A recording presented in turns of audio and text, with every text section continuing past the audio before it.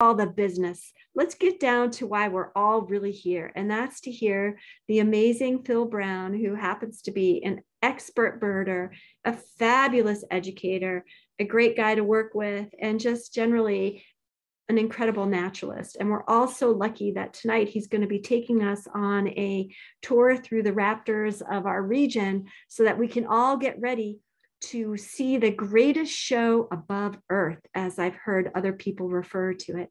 So, Phil, take it away. Okay, thank you, Susie, for that warm introduction. Um, I uh, appreciate everybody making some time tonight to learn about migratory raptors and how to best enjoy them.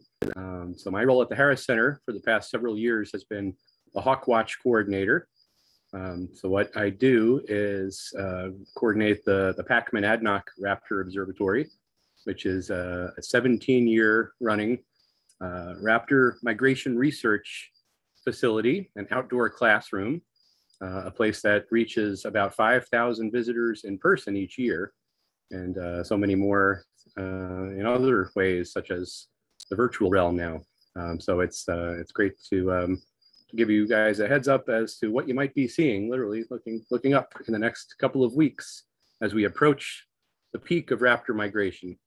Um, so just a quick sound check. Susie, can you hear me really well? Perfect. Okay, good. Let me know if anything goes out and we'll try to do our best to get back.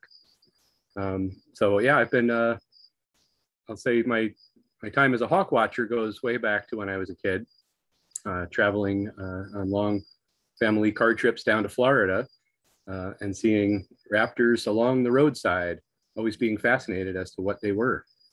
Most of the time, they were probably red-tailed hawks, but I had a, a, list a mile long as to how many species that I thought I was seeing anyway. Um, but you know, the more you know, the more you, you know how to improve upon your identifications, and maybe that's some of the reason some of you are here today, uh, but I'll try to go over a little bit about a lot of things about the 15 species of raptors that we might see over the Monadnock region of uh, New Hampshire. Um, so depending on where you are, you're probably seeing a lot of these hawks too on the East Coast, um, but many of the same species can be found on the West Coast and other parts of the world. And I'll show you and um, prove to you how raptors really connect our worlds. A few uh, questions that I'll pose for tonight's program. Um, the screen, excuse me. um, what is our role in New Hampshire in monitoring migratory hawks? Um, you know, where are they going? How are they doing? Um, and, uh, and quite a bit more. So first thing we'll have to cover is what exactly is a raptor? Um, so the most basic definition for the birds that we see that we can classify as raptors are these are the ones that have killing talons, like that fearsome looking accipiter young hawk on the bottom there with its sharp long claws, uh, killing talons for, for grabbing rodents, snakes, birds, uh, all sorts of smaller critters. And generally that covers the eagles, ospreys, kite harrier, which is represented by one species here, uh, the hawks like the red-tailed and the broad-winged hawk, um, and owls, which, um, which are of course nocturnal mostly. Um, and for these purposes, we also consider falcons, raptors, and vultures, which are not truly raptors, but we do uh, consider them uh, as migratory birds of prey. Um, they're kind of honorary because they, they fit into that category well, and I'll explain to you why. So a little bit about migration monitoring. So effectively, the, the long-term migration monitoring at Hawkwatch sites around the world is really the best way to measure population size uh, of raptors because um, because of their habits. Raptors are, are pretty um, secretive a lot of the time during the day. Their nests are hard to find, so they're hard to detect in the summer. Um, they can be hard to detect in the winter. Um, when they're flying in migration, that's the chance to, to tally them in a systematic way. Um, so, so hawk watching goes back um, many decades uh, with the founding of Hawk Mountain Sanctuary in Pennsylvania. That was the first location in the East that, um, that started a, a standardized long-term count. Um, and there's a, there's a real need for migration monitoring uh, because globally over half of raptor species have declined and now about one fifth are threatened with extinction. And uh, that includes, um, uh, the threats include losing native habitat, which is a big one, with power lines, buildings, windows, um, poisoning both inadvertently and uh, and intentionally. Uh, development of energy at a at a pace that's not sustainable with uh, with how wildlife can respond, and um, unsustainable practices of uh, land management as well. Uh, and now we also worry about climate change being a major factor. And um, the more research that's conducted, the more we realize how true that seems to be. That many raptors are suffering because of um, both long-term and and, and short-term weather-related events. Um, and an excellent uh, gateway bird and, um, and a hook into uh, the conservation world. You know, it, it's fun. Uh, connecting with raptors is, is a lot of fun and it, it engages people of all ages, uh, but it really especially is such a hook for, for younger kids because um, they want to see something up close and, and raptors can be can be uh, a creature that you can interact with much more easily than a, a sparrow in the brush, perhaps, or or something uh, that's small and further away. Raptors are big, and sometimes, especially when they're in migration, they can really be right over your heads. Um, so they're they're fascinating, and they've um, provided us with endless fascination. So the the photo on the bottom right, if you can't make out what that scene is, um, this speaks to the history of uh, the threats to the raptors even in our part of the world. These are raptors that were slaughtered really just for fun, just for target practice. Uh, raptors were long considered uh, vermin, and um, there were even bounties on shooting raptors in certain states. So, um, so gunners would go out at, at, high lookout points, places like Pack-Monadnock uh, and Hawk Mountain, and um, just knock them out of the sky. Uh, so this was seen from Hawk Mountain in the early days of the protection of that sanctuary in the 1930s. There are, are almost 200 actively um, migration monitoring sites that are active now. Um, there's a network that's expanding uh, quite considerably throughout the Western Hemisphere. Really started in the Northeast, and that is a big reason why there are so many white specks on this map here that you can see. the white specks, the white dots are Hawkwatch sites. Um, there are uh, a, few more in autumn than there are in spring, but um, but there's seasonality for um, for both seasons. Um, and in our area, in the ridges and valleys of um, the Northeast, fall is really the better time uh, away from the coast to really see a concentration of migratory raptors. So a few of these sites have been monitoring for a long time, like several decades. And at this point, Pack Monadnock is uh, kind of a middle-aged hawkwatch. Um, it's getting up to uh, uh, near its 20th year. Um, hey. But yeah, the, the expansion of sites all throughout into South America is is quite exciting. So we're learning a lot more because of that network. Hi, Phil. Um, okay, so um, there's a, a, tool that conservation biologists use that was developed um, uh, a couple of uh, about a decade ago uh, called the Raptor Population Index.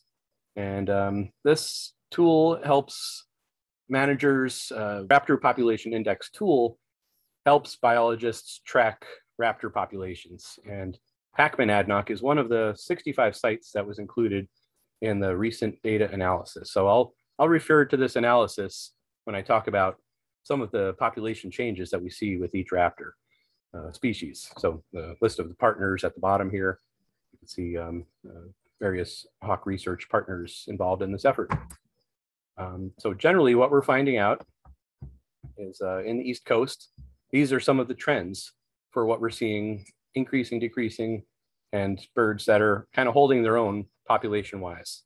And this speaks to the trends, uh, the migration trends specifically. So you can see uh, what's alarming here is the, the list of decreasing is, is quite a lot bigger than, than the list of species increasing, only a few species that have had concerted efforts to really help their populations rebound. Um, so we're starting to grow a little bit concerned about what's going on with some of these hawks and long-term studies are initiated and uh, the findings are showing that uh, it's really a mixed bag and um, some of these threats are species specific. So a little bit about how and where to look. Uh, the fall migration is, is most pronounced on days with lighter winds that come from the north or the west or a little bit northwest, especially um, days following cold fronts. So once that air changes, like a couple of days ago, a cold front came through, things cooled off, the hawks will follow those winds because it's energy efficient for them to move uh, on the winds that are carrying them in the direction they're going, south and west. Uh, mid-September to mid-October is the peak for the most species and the largest numbers in our area.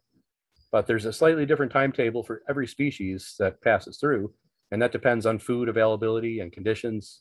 For example, bald eagles are one of the last species to be still migrating in the in the fall because they uh, they like to hang out near open water, and when when rivers and lakes start to freeze in late fall, that will really get some of the eagles migrating south. And a few tips on how to see them. Uh, raptors utilize thermals, which are these rising pockets of warm air, uh, and up updrafts, which are winds that deflect up the slope on ridges and mountains. So Pack-Monadnock being a 22 mile long ridge line uh, located along that ridge line um, is really an excellent vantage point because of its height, the views, um, and also because of how the winds hit off that ridge and give the raptors lift right over our heads. Um, I talked about the weather and winds a little bit. Um, and uh, there's a, a, resource that, that I'll put up at the end again, hawkcount.org, which is an excellent resource to uh, get your, your migration forecast, kind of like a weather forecast for, for hawks the next day. And on to the site itself, Pack-Monadnock. I'm guessing several of you have been up there. Uh, this is a project that was founded by New Hampshire Audubon in 2004 and has been uh, conducted at Miller State Park. Uh, so New Hampshire Parks is a key partner and New Hampshire Audubon is a key partner. The Harris Center staffs the project uh, with myself and um, this uh, fall is the third fall for Levi, Levi Burford, who's pictured here. He's the raptor biologist again this season. Uh, so he's up there five days a week and we have a team of volunteers to help fill the gaps uh, in coverage.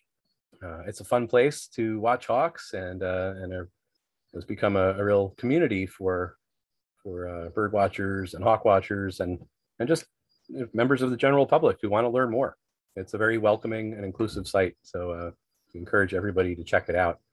And it can get crowded, so I should put in the public service announcement that you must make reservations in order to guarantee your spot um, with uh, with Miller State Park. So go onto their their online resource to make a reservation, especially for a busy weekend. You're going to need that reservation to access the park. But this site is free and open to the public once you pay your way to the park. Um, and uh, we always have uh, volunteers and staff who are willing to, to talk with visitors and give them education on site and point out birds. So um, come up and learn about the raptors with us. Um, uh, last fall, we, we got our friend Eric Masterson back up, uh, another hawk, uh, hawk lover um, and Harris Center staff member uh, after uh, he had an accident last year and got him back out to the site. So that's what that photo shows. Um, typically most falls, there's a raptor release day, uh, which is an exciting event, especially for, well, the kids and all of us, I should say. Um, uh, when rehabilitated raptors are released and uh, put on a show very briefly, usually over the crowd. Last year, due to COVID, we had to get creative and we came up with a, a system to help people stay socially distanced. Um, and uh, I think so. We have a, a, corral system in place and uh, to continue and get the entire season in. Uh, so it was nice to have that continuity with data and the park and, and our staff really did everything we could to keep everybody safe. And um, we had an excellent season as a result. This year, um, the, uh, the, the distancing factor continues, um, but it's it's more self-imposed now. We don't have the the corral system.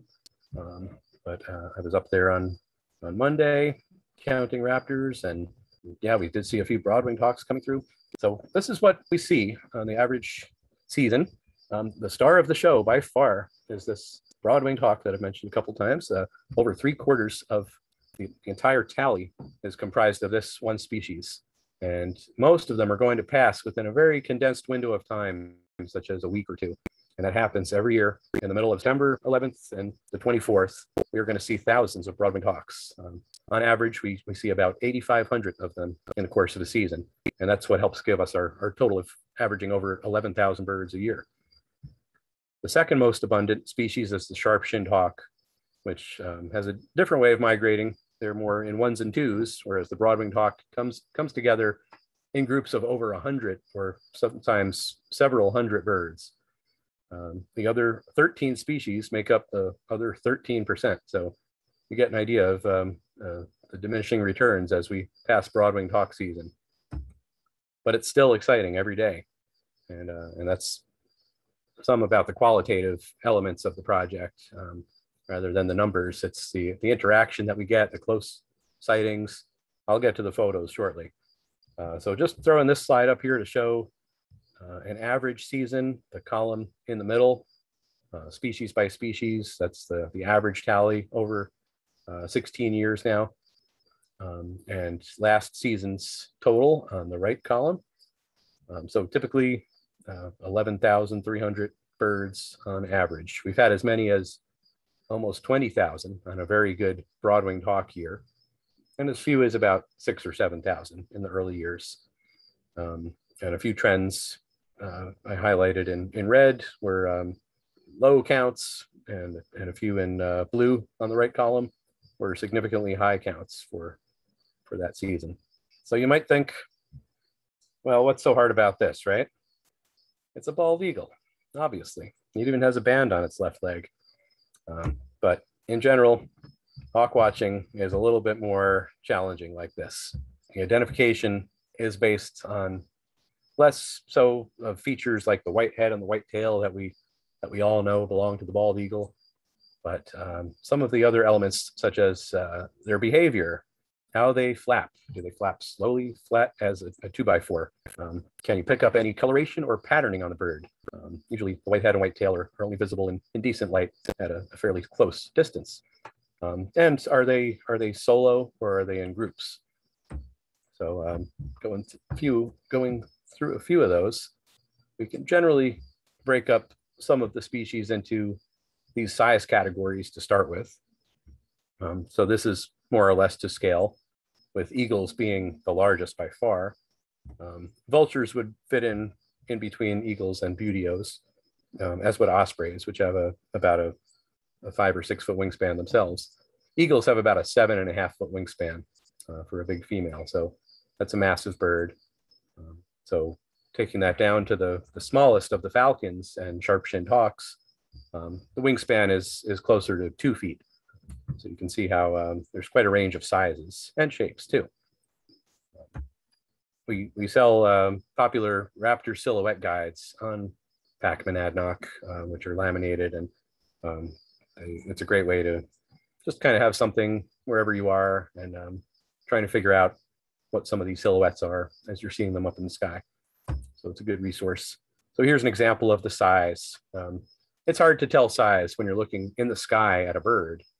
It, um, sometimes uh, a tiny little speck through binoculars can end up being a, a butterfly or a dragonfly. And sometimes it can be a plane 50 miles away.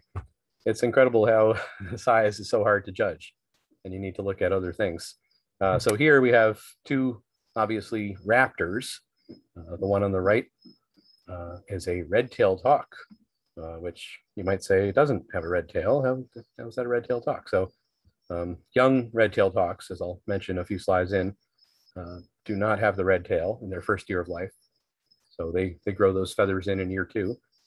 Um, and their tails appear longer. Uh, and young, young birds generally have longer wing feathers and flight feathers or um, tail feathers. The bird on the left is a sharp-shinned hawk, one of the, the most ferocious and tiny little hawks. So obviously some size difference there. Um, the species on this screen, uh, the species on the screen is, is actually the same species. Um, and looking at the two, there's some obvious plumage color differences on the underside. Um, but what you do notice about these is they have a relatively similar wing shape. The way these two birds are holding their wings slightly angled forward.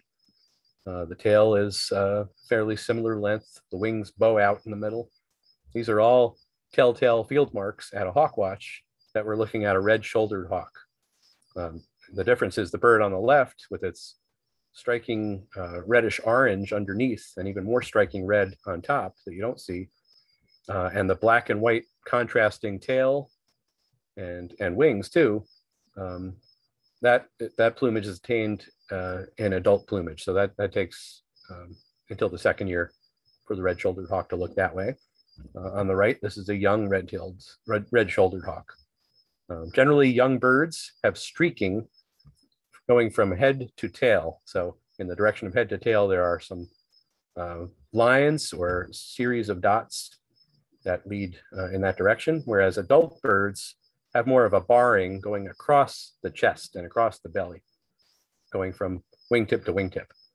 So um, tail differences are, are also notable here because of the, the fine banding on the, the youngster. So color pattern, very important. Um, species behavior, and are they solo or do they go in groups? Uh, this, this photo speaks to this. These are all pretty much the same species. These are broad-winged hawks, uh, similar to a, a, kettle that we might see sometime in the next week at Pack-Monadnock. Um, so waiting for the next couple of cold fronts to start seeing our first uh, broadwings gather up in, in numbers of, of more than five or 10. Uh, but it's, it's bound to happen like it does every year. So now I'll jump in and go through species by species. And I'll start with the families or with the, the subfamilies here. Um, Buteos is a, group of raptors. Uh, so I'll start here. All right, so Buteos um, are typically raptors that are medium to large sized. Uh, they're, they're typically fairly chunky. And we think of these as the kind of your average hawk, um, what people mostly think of as hawks. Uh, usually comes to mind. It's uh, they have generally shorter tails that are kind of broad and fanned out when they're soaring, uh, long, broad wings. And these birds behaviorally rely on thermals, those pockets of warm air. And that's given them the, the nickname, the Wind Masters, uh, dubbed by, by uh, uh, raptor expert Pete Dunne um, and his resource Hawks, Hawks in Flight. Uh, Pete Dunne, uh, Sibley, and um, Clay Sutton authored that book uh, many decades ago. It's still a classic and um, an important resource for every serious hawk watcher. I'll um, I'll put that one up at the end too. Um, so so in the bird in this photo is a young red-tailed hawk. Uh, a couple of their key field marks. The key field mark on a red-tailed hawk in just about every season and every age is uh, this what we call a belly band or a belt. It often looks like um, uh, a, a, series of, of streaks really centered in the middle of the bird's belly. So it's, it's given that belly band name or belt appearance. They also have these darker brown markings near the head um, called the patagial area, patagials. Um, so dark patagials, belly band, big broad wings. They have about a four foot wingspan.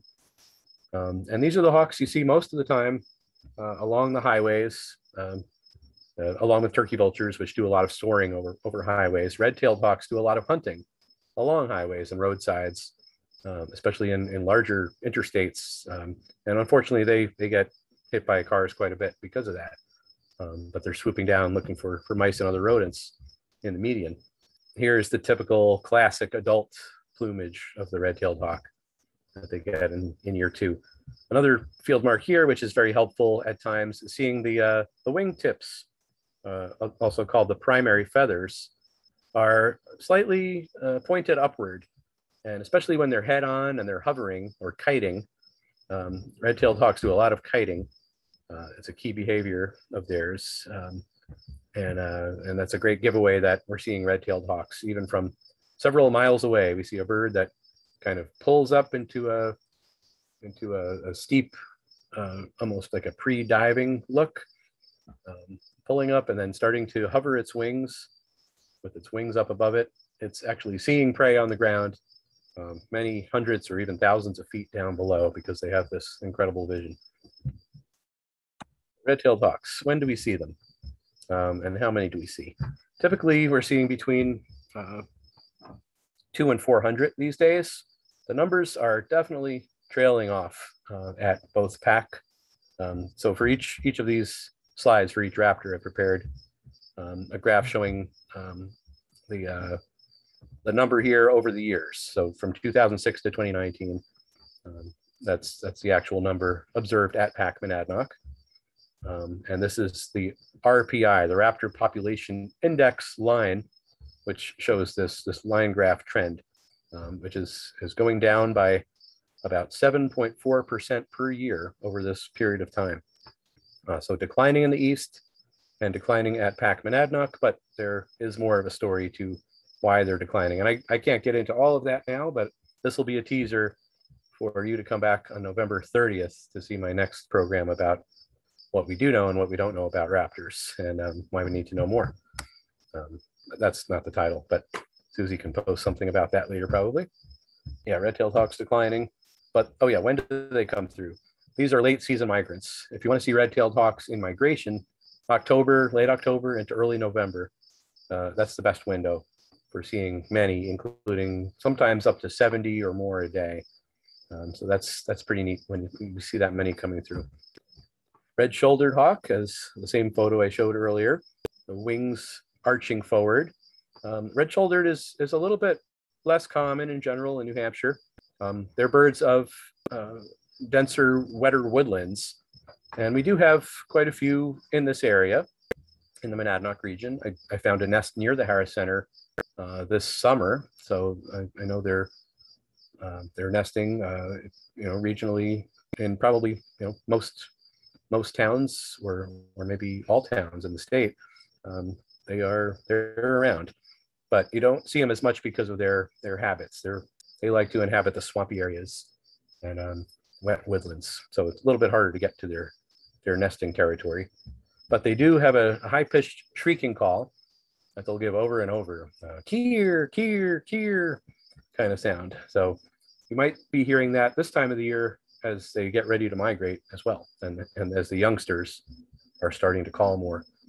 Um, they're a little smaller than red-tailed hawks, uh, a little bit sleeker, body's not as bulky, um, and and slightly longer tailed. So um, so these two at a hawk watch, red-tailed and red-shouldered, it's a tricky ID from a distance. Um, it takes some time getting used to it, but they do have a, a flight profile that's slightly different, and the way they hold their wings and, and the frequency of their flapping can be another clue. So we're looking at some really subtle field marks that you really have to hone over time to really get these down.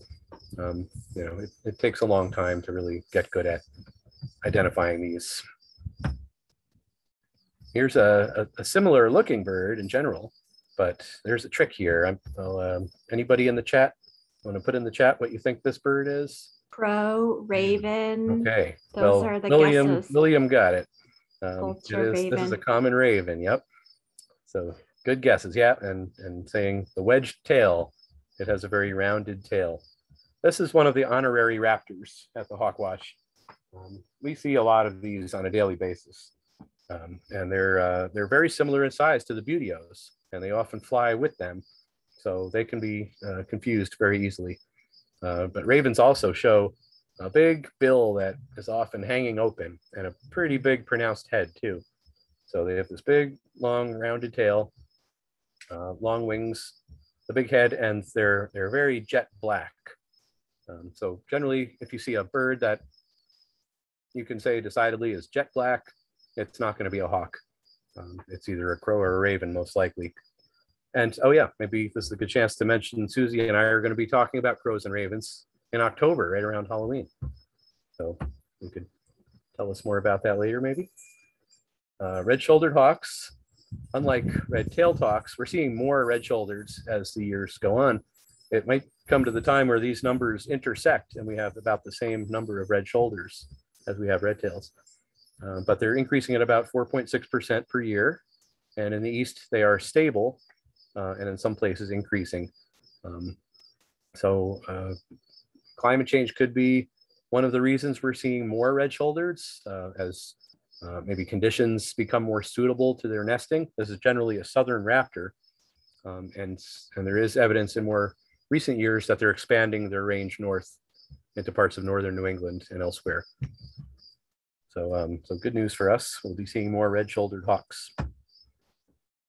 And now broad-winged hawk, uh, a bird with uh, similar, vaguely similar to this red-shouldered hawk. Look at the tail banding. There's um, you can see lots of black and white tail banding on a red-shouldered hawk.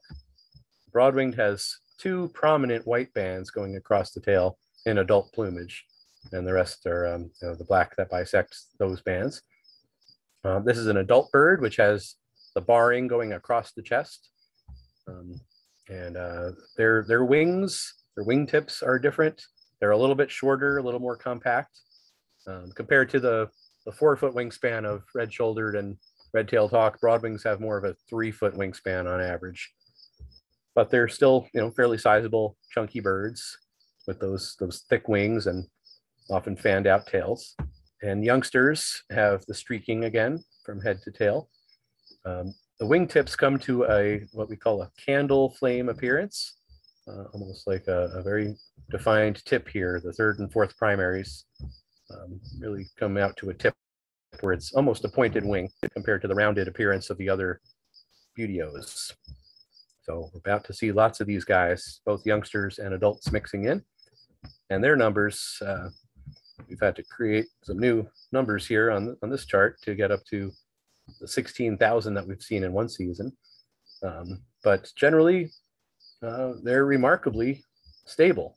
Um, only about a 1% change over the, the 14 year data set here that's remarkably similar, even though we've had some majorly, you know, high years and low years, we're generally seeing about the same number year after year. And that's the case for a lot of sites in the East as well, even though, um, uh, you know, we know that, that there are threats for broadwing hawks too. We'll talk more about those in my November talk. Um, you can have this happen if you just hit it just right. You can see this many hawks in the sky above your head. Um, this particular photo, I think, was taken in Texas, where the numbers build even more so. But we have seen uh, over 5,000 in one day from Pack Monadnock. Um, and on the average year, there'll be two or three days at least where we see a thousand or more. And those days are coming right up. So make your reservations, get up to that mountain. And Oh yeah, so we have a new broad-winged hawk project, a monitoring project that the Harris Center uh, has launched in 2020. Um, and in this past summer, we partnered with Hawk Mountain out of Pennsylvania to monitor nests of uh, broadwings in the region. We found nine nests collectively with uh, myself and a, a, team of volunteers. Um, we, uh, we've monitored these nests all summer long, and we were able to trap five of these birds affixing transmitters to three of them, uh, like this um, like this little backpack backpack unit on the bird on the right. Um, so three birds, uh, two of them now are sending us signals. We don't know the fate of the third transmitter. That may have it may have failed, um, but we have uh, migration maps. And by the way, this is a, a, chick here that's just about ready to fledge on the left here from uh, a nest on Prospect Hill in Hancock.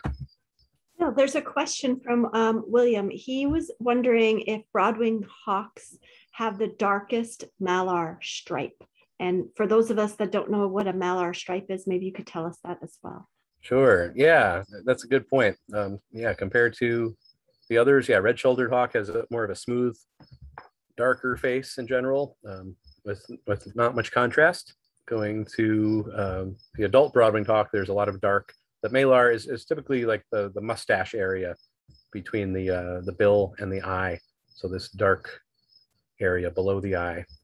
Um, and uh, as a youngster, yes, definitely as youngsters, they do show a lot of uh, dark. So yeah, good question. Great. One other question. Um, this is from Linda. She's wondering when we can see um, red shoulders hawk, red shouldered hawks migrate mostly. Oh yeah, good question. Um, late October is the best time to see red shoulders migrate. Great. And last, one last, mm-hmm. one last quick question, and then we'll let you go on. Um, is what is primarily responsible for the different migration timings across raptor species? And that's from Karen Sieber, our um, ecologist on staff hmm. at the Harris Center. Yeah, good question. Um, it relates to food, most likely. Um, so migration is is a strategy that has evolved over thousands of years, um, and it relates to um, following food and, and going from a place of less abundance to more abundance. So that is the primary driver of migration. Um, so, you know, broadwing hawks, for example, uh, seem to time their migrations with the development of thermal activity when um, when the ground is producing the most heat in early fall. So they need to get out of town quickly before our October weather comes in. Um, and they also there's some connection between uh, broadwing hawks and their food availability. Um, they're uh, largely, well, they, they, eat a lot of things such as uh, mammals and birds, but um, they also seem to time their arrival with the amphibian emergence in late, mid to late April around here. So there's some thought that they, that may have to do with it. But yeah, it's, it's generally driven by food and um, taking uh, advantage of a food source elsewhere. Yeah, so here is uh, a map, a migration not a migration map yet, but a pre-migration map of our two broad-winged hawks, uh, Monadnock and Harris, uh, which were um, banded in uh, Dublin and I think Harrisville. Um, no, Dublin and Hancock.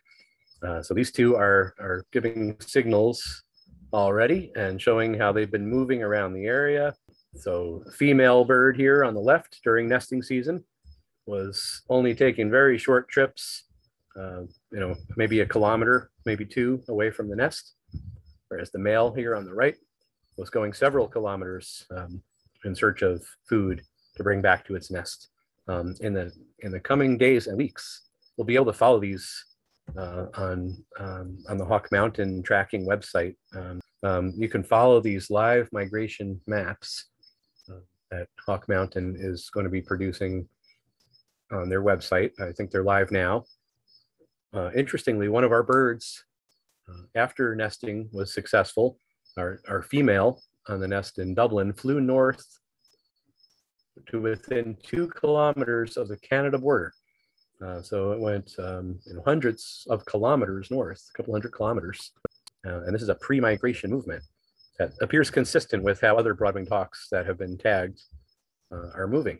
But this is the first information we're getting about our New England's broad-winged hawks, so the whole population of New England birds. So uh, it's super exciting to be part of this project with Hawk Mountain. And we're, uh, we're planning to do, do it again next year and uh, potentially put transmitters on even more birds and learn about their wintering range and, uh, and forest habitat and, you know, and have just how they get to where they're going. Some of these broadwings are going as far as southern or central South America uh, in the Amazon rainforest. So that was a, a tangent to hawk watching, but um, uh, getting back to the Buteos, there are a couple of other Buteos that might show up at some point. Uh, we have had rough-legged hawks about half the years. Uh, there's the bird on the upper right. Um, this is a northern bird that nests in the high Arctic and um, moves south for uh, for food um, on some, but not every winter probably. Uh, so some winters we see more rough-legged hawks, but the best place to see these locally in the winter is Plum Island, Massachusetts. If you really want to see a, a rough leg, don't don't um, you, you, might be waiting a long time on Pack Monadnock. And on the bottom is an even rarer bird from the west, Swainson's hawk, which is a, a common migrant out west, uh, which we've recorded twice. Two of the three New Hampshire state records for this species have happened at Pack. Okay, accipiters. These are small to medium-sized birds with generally short round wings and long tails. Um, these birds flap a lot. Um, it takes a lot of work to get where they're going to in general. And as a result, they don't go as far in migration. Uh, the bird pictured here, by the way, is an adult sharp-shinned hawk with a very squared off tail and, and short head. This is also a sharp-shinned hawk, a youngster with the heavy streaking. Um, the, the wings tend to create a bit of an S shape on sharp-shinned hawk, which is helpful because it starts with an S. so you can remember that. Um, but that uh, this is a very difficult identification to make between the sharp-shinned and the Cooper's hawk. Um, we saw that photo earlier. Sharp-shinned hawks are very feisty. That's why I threw that one in there. Uh, so sharp-shinned are second most common species. It is declining at about 2% per year. And it's, uh, it's definitely declining all over the Eastern Flyway. And we're trying to figure out reasons. Um, they seem to be fairly sensitive to forest disturbance. Um, these are birds of um, more northern forests in general and um, you know, coniferous forests. They they're obviously good predators in your backyard. You see a lot of sharp-shinned and Cooper's hawks coming in to take feeder birds, but there may be other factors going on that we're not aware of. Um, it, it, could be a, a, climate change issue, um, but all we know is something's going on with the species, and it's, it's baffling researchers right now. Cooper's hawks is the slightly larger cousin. They have generally straighter wings, especially the leading edge of the wing. Instead of having an S shape, it's more straight at the head. The head protrudes a little further out, and the tail is typically more rounded because it has longer central tail feathers. Um, these birds also have a slightly different way of holding their wings because of their size. They, they flap a little less vigorously than the sharp shins, which are constantly flapping really quickly. Um, this bird is showing a, a, bulging crop also, which is a feature that we can see on many birds migrating, uh, indicating it just had a meal. So probably just ate a small songbird before this photo was taken, where there's this bump in its throat. The accipiters, so sharp-shinned hawks, Cooper's hawks, very similar shape overall. Uh, some of the examples can be even closer than these two uh, because of the way the birds are holding their wings or the angle. And it's it's really all about getting good long looks. As long as you could observe a bird, try to take in as many field marks as you can when you're seeing it, uh, and really putting together a, a, a, puzzle based on a series of, of minute observations. Um, so uh, Cooper's hawks um, generally have a longer tail, and some people uh, use the cross shape on a Cooper's hawk, where the this is the head, the top of the cross, the bottom of the cross, and and the uh, left and right side, versus a capital T shape of a sharp-shinned hawk. But there are always some subtle differences that make um, generalizations hard to stick to. Cooper's hawks are also declining at the Hawkwatch and in the east, but their decline is probably more tied to them becoming a little less migratory uh, at least some populations are sticking around because they have a, a pretty decent food source nearby. Um, so, you know, city pigeons, um, house sparrows, starlings, they, they make a really good food source for these Cooper's hawks, which are becoming uh, very acclimated to human development. So they seem to be doing well in urban areas. And um, we think globally their population is, is doing just fine um, compared to sharp-shinned hawks, which may be starting to show some some real signs of population decline.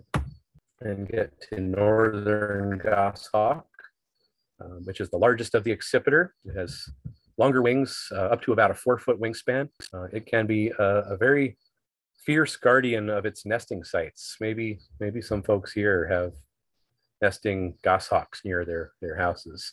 Um, you'll know about it if you do, or if you get too close to their nest, they'll let you know about it. This is an adult, which is very grayish overall, and they have a bold black eye stripe that's hard to see. Um, but they're, they're, they have a super stout body, very uh, strong bird built for um, catching large prey and carrying off uh, things like snowshoe hare and ruffed grouse. So this is a serious northern bird. And um, in our part of the world here, um, we need to know more about how they're doing in the Northeast. Um, and this is one I'll talk a lot more about in November. But we do have goshawks nesting in this area um, and, uh, and migrating through. Here's a young goshawk uh, taken by Levi last year, um, showing pretty stout wings, um, vaguely similar to the other accipiters in body shape.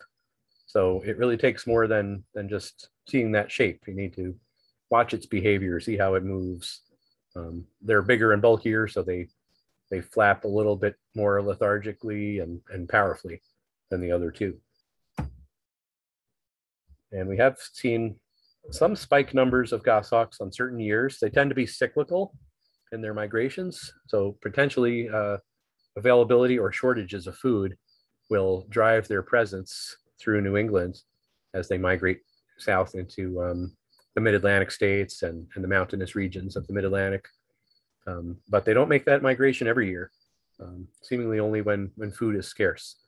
They follow the populations of snowshoe hares, which seem to be on a every other year cycle. Um, so some locations, some hawk watches where there are hundreds of goshawks really show that that back and forth um, year to year population a little bit more strongly. But we are, like much of the East, seeing far fewer goshawks than we did just 10 to 15 years ago. Um, so declining big time and another species that is, um, is still fairly poorly understood. Um, research in Pennsylvania and West Virginia is showing that a lot of goshawks that were formerly nesting there are no longer nesting there. Um, they their determinations about that um, are pointing to factors such as climate change as a possible cause, and and um, maybe invasive um, invasive tree pests could be a piece of that, as um, hemlock forests are important for their survival. So they're they're losing about ten percent per year. Now we're into the falcons. Um, peregrine falcon pictured here. They're these are the largest of the falcon. Falcons are generally small to medium size. They have long pointy wings, long tails, and strong flyers. Here's a young peregrine falcon. They have a strongly marked facial features, kind of like it's wearing a helmet, ready for battle. Um, we got to see this on Monday. Um, not this particular bird, um, but one uh, peregrine, which was sparring with the local ravens, and even a Cooper's hawk that took a, a dive at the peregrine, but peregrine being the fastest bird in, in the world um, really put those birds to shame and uh, was a lot more, uh, a lot faster and more entertaining to watch. They have increased thanks to many conservation efforts at about 5% per year. Uh, so they're doing quite well. We see about 60 or so. The peak will be sometime in late September, early October. Merlins, um, the medium-sized falcon. It's the darkest of the falcons, very dark bird overall. Um, and it's it's built for, um, for, for speed and stamina. Um, we're seeing more Merlins overall as the, the population has increased, building from a, a growing nesting population in Canada. And now they're nesting across parts of New England, including our region. Um, so we're seeing more. Um, these are uh, almost a daily occurrence at the Hawk Watch. They spend a lot of time just harassing local birds, maybe uh, spending several days more than just zipping by. We'll see Merlins um, that just like to camp out at the summit and dive at songbirds and bigger birds. They're a lot of fun to watch. American kestrel is the, the daintiest and, and usually the smallest of the falcons, and also yeah, the most colorful. Um, male kestrels are different from female kestrels in that they have uh, bluish gray wings um, and uh, compared to just the, the, orange body and wings of a, of a, female kestrel. So very few raptors have this sexual dimorphism in color, uh, but kestrels and harriers do. Um, so we do see kestrels um, in mid to late September is right around their peak. Um, they're very pale underneath. They have the long pointy wings. Um, their, their flight is a little less direct than a Merlin's flight. Otherwise, those two can be confused. Um, putting together the field marks between Kestrel and Merlin usually comes down to behavior as being the, the telltale sign. Here's a, here's a falcon look-alike that was seen on Monday and photographed by, uh, by one of our volunteers, Andre um, a great image of two common nighthawks migrating by. And I know they're migrating tonight because I just saw one out of the corner of my eye. Um, so they're, they're moving through the sky tonight. Um, this is a, an exciting species that's not a true hawk, but is vaguely resembles a falcon in flight, uh, similar size and shape. And the migration's going on right now in our part of the world. Kestrels, though, back to them. Uh, they've been declining over the east over over the period of the last couple of decades. However, we seem to see a fairly level number um, on a yearly basis between 150 and 250. Um, we had a record number last year, actually. So that was a good sign of a, a rebound of a bird that we know has lots of threats and, um, and, and risks for um, its survival. Um, I'll skip that for now, but definitely seeing regional declines of kestrels too. Ospreys, large birds, they have a tiny little head. Um, very, very eagle-like in size and shape from a distance, but they have a lot of white on their bodies. You'll never see that much white on the body of a bald eagle, whereas you will see white in the wings of a young bald eagle. Um, so ospreys have a, a noticeable bend at the wrist, gives it kind of a capital M shape, um, mottled belly uh, and uh, dark wrists here, the, the wrist part of the bird these dark areas. They do a lot of soaring and gliding, and occasionally you'll see one with the fish, like um, a volunteer saw one uh, this week at Pack. Ospreys, though, are declining, um, and there are a number of factors associated with that, um, especially the inland birds that are coming from Canada and Maine. Uh, seemingly, they're they're they're um, losing territories to the increasing bald eagle. That may be one of the major reasons for their decline in our flyway getting towards the end here. Northern Harrier, uh, it's in its own family for this area. It's about a medium-sized bird with a three and a half to four foot wingspan. And they have characteristics of all the birds that we just saw, Buteo, accipiter, and falcon. They have long angular wings and a long tail. Um, this is a, a, young one. Actually, the young ones are, are, very golden underneath. Females are brownish, and um, the males, here's a female, uh, kind of a mottled brown. They have a very owl-like face, and that relates to, to how they hunt. Um, and uh, they're a very interesting species, state endangered in New Hampshire as a breeding bird. New Hampshire Audubon is studying studying harriers in Coos County, way up north, and um, only recorded uh, a few pairs nesting this year in the state. Uh, here's the gray ghost, the male harrier, very striking bird that we see more of them later in the season. Harriers too are declining about two and a half percent per year. Uh, we know a lot of the reasons they're declining, but we're trying to figure out ways to, um, to, to, manage for their populations. Uh, down to the eagles here. Uh, this bird needs no introduction. Uh, about a seven and a half foot wingspan, adult on the right, a young bird on the left. There are about five different plumages for bald eagles because it takes them five years to reach their full adult plumage. So bird on the left here is, is in its first couple of years of life. Um, let's see, increasing off the charts, over 10% per year. This bird has fully recovered, taken off the endangered species list, um, rebounded um, pretty much all across its range, thanks to management efforts and, and bouncing back from the, the toxic DDT. Golden eagles we'll see later in the season in small numbers, uh, usually between five and 10 a year um, in late October to early November seems to be the peak for Goldens. This is a, a juvenile bird, a youngster showing white at the base of the tail and white in a very particular part of the central tail. Uh, and also the golden nape of this bird that gives it its name. Massive birds from the north. They used to nest in New Hampshire. Now they're, uh, they haven't for the past uh, 50 years or so. Um, but maybe there's hope for their recovery because we're starting to see a population rebound in the east. There's a small population in uh, in uh, eastern Canada that totals about two or three thousand birds. Um, just for scale here, this is a red-tailed hawk, a four-foot wingspan bird, chasing this golden eagle. So that's an adult golden eagle, by the way, uh, with very little or no white on the body, uh, but a tiny little head compared to the bald eagle. Golden eagles have a tiny little head and they often fly with a slight dihedral, meaning the wings are, are slightly above the, the flat plane. The last bird I'll feature here is the familiar turkey vulture.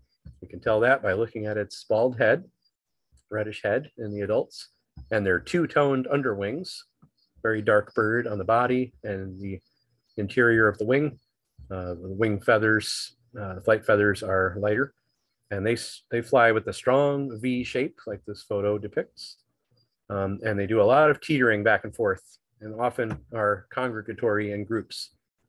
They're increasing almost as quickly as, as the bald eagles. So um, with that, uh, just give you a few more resources here to uh, check out the Hawk Watch and uh, learn about how the Harris Center is monitoring raptors.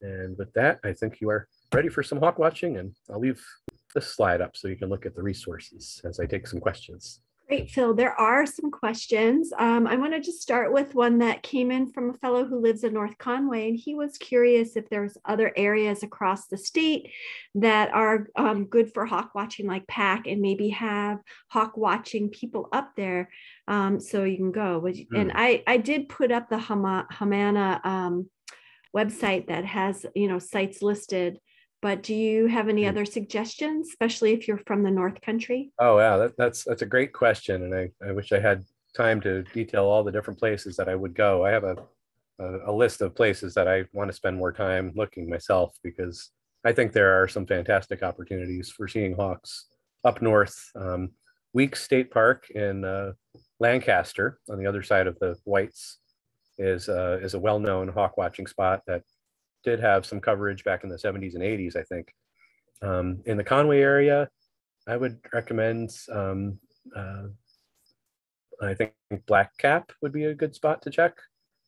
And um, there are probably a few other hilltops that are just easy to get up to. That's basically the key. Find a spot that you can get to regularly and um, make it a habit of starting to watch.